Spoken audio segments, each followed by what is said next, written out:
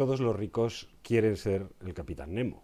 Nemo es la máxima expresión del utopismo anarcoide. Fundó su propia república ideal en un gigantesco submarino de altísima tecnología llamado Nautilus para vengarse de la corona inglesa, hundiendo sus barcos y poder vivir en el único espacio de libertad política en el que uno puede emanciparse de ser súbdito de ninguna nación, reino o estado, las aguas internacionales.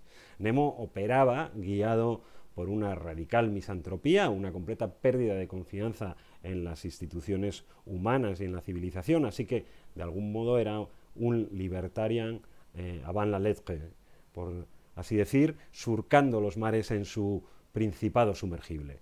Pudimos verlo no solo en las adaptaciones cinematográficas de las novelas clásicas de Julio Verne, incluida El amo del mundo, en la que el propio escritor exploraba una versión aérea de El Capitán Nemo, un pacifista fanático llamado Robur, sino también en spin-offs como eh, El Capitán Nemo en la ciudad sumergida del oro, eh, donde la utopía misántropa aún es llevada más lejos, a una cúpula subacuática, o también, claro, en la discutida adaptación al cine del TVO de Alan Moore, La Liga de los Caballeros Extraordinarios, que por cierto el distribuidor español decidió aterrizar en lo mundano, cambiando a los caballeros por simples hombres. Si hoy existiese Nemo, eh, invertiría, no, les quepa la menor duda, en bitcoins eh, y también evadiría impuestos. De hecho, su república secreta, sea el Nautilus o la ciudad eh, subacuática de Templemer, son básicamente paraísos fiscales si entendemos los impuestos como el tributo al reino, a la patria o al Estado. Como vivir en un submarino, en todo caso, es un poco agobiante y estrecho, los ricos del siglo XX tomaron la costumbre de conformarse con fundar repúblicas independientes estáticas, islas, uno de los furores de los millonarios siempre han sido las islas. Los muy ricos, pero no tanto en islas compartidas, como son muchas de las eh, urbanizaciones que rodean Miami, y los ricos, que te pasas de ricos en islas individuales. Por ejemplo, Aristóteles Onassis, el famoso armador, tenía una isla llamada Escorpio, eh, lo cual en Grecia era relativamente fácil porque hubo más de 6.000 islas que el gobierno puso a la venta. Marlon Brando se compró una isla en Tahití donde se enamoró del archipiélago y de una nativa mientras rodaba Rebelión a bordo. Se casó con la nativa y se compró la isla de Tetiaroa.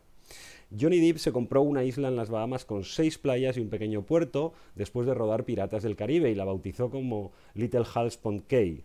Era vecino suyo eh, Nicolas Cage en otro islote, pero Cage tuvo que venderlo porque la administración de su patrimonio nunca ha sido su especialidad, por así decir. Mel Gibson eh, tiene su propia isla en las Fiji, el mago David Copperfield y el cómico Eddie Murphy también tenían islas en las Bahamas, Shakira se compró junto a Roger Waters de Pink Floyd hace años una isla en el norte del archipiélago, Richard Branson, nuestro cosmonauta millonario, también adquirió todo un archipiélago en, las Islas Vírgenes Británicas, Leo DiCaprio tiene isla en Belice y Ricky Martin tiene una isla cerca de Río de Janeiro. El negocio en un momento dado fue tan bollante que Dubái, que no tenía islas para vender, vio la oportunidad de negocio y, sin pensarse dos veces, construyó dos famosos archipiélagos artificiales de Palm, con forma de palmera, y de World, con forma de mapamundi. Y aquello, por supuesto, se llenó de famosos.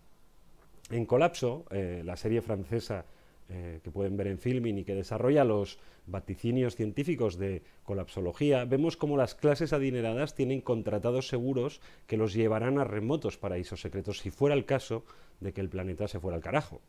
Claro, pero el problema es que hoy sabemos que con el cambio climático las islitas del Pacífico o del Caribe lo tienen regular para sobrevivir a la subida de los mares, como Venecia o como los Países Bajos. Y las islas de Dubái aún antes del cambio climático, dice la NASA que se están hundiendo a falta de que suba al mar. Todo lo cual nos lleva a sospechar que estos repentinos viajes espaciales de los multimillonarios como Jeff Bezos o Richard Branson eh, quizá estén apuntando a otro objetivo, a un Nautilus espacial. Porque ¿dónde hemos visto esto antes? Pues claro, en el cine, en Elysium, la película de Neil Blomkamp, en la que Matt Damon busca desesperadamente una patera espacial para alcanzar la estación orbital de los ricos, donde, por supuesto, hay sanidad privada. Ahí no llega el nivel del mar y, sobre todo, no llegan los inspectores de Hacienda. Buen verano.